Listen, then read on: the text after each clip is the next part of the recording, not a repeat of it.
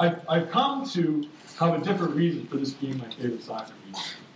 I have read in many places of people laying down their life in service to God. But I never thought I had witnessed it until I reflected back and realized that that good sister stood there and did the thing that literally scared her to death in the service of God because she was doing her duty, asked to do that. She gave her life to give that talk. And I witnessed someone literally lay down their life in service to God. I've never seen that since. I never saw it before. Some of you may have seen it, may have been blessed to see it, but I will tell you it is something to realize that I have witnessed that. And I can't think of any better way to go, because it wouldn't matter what else you did in your life. That's straight into Jesus' arms, man. as far as I'm concerned, if that happens to me, it's like nothing else counts. I'm, uh, you know, Jesus, you better be taking me into your arms. That's it. I'm a big man. You know, I laid down my life, and and I witnessed that, and and I've read about it, and for years thought about it, and thought about these martyrs, and and here's this in my ward, in my childhood, early on, in my impressionable youth, I literally saw someone die, laying down their life willfully in the service of God.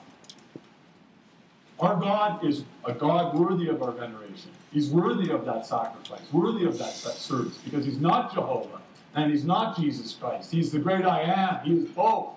He is both ends of that. He is all things. He is all greatness and all goodness. We have a God worth honoring that responds to all of these philosophers who are trying to find happiness, but they're on the wrong road because they've missed something. They're trying to solve their problems through political solutions, with secular knowledge. You need that knowledge because you're going out to the world. And you have to deal with people who think like this and try to solve problems like this. But you need to know that there is a greater truth and there is a greater way to find happiness in your life. And I want to tell you that unlike Sisyphus who fears death, if you will love your death, if you will embrace your death as part of your life, by which I mean if you will live your religion like you truly believe it and not fear death, but embrace it because you embrace the afterlife and you embrace Christ and you embrace your part in the whole story, your life will be a life worth living. Your life will be a life that will be the envy of gods and men everywhere. You will be a force to be reckoned with.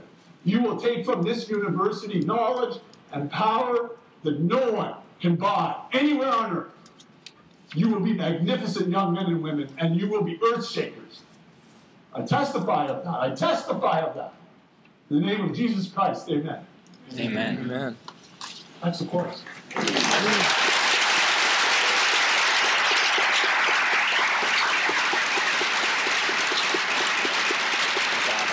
college career. There it is. Famous lecture.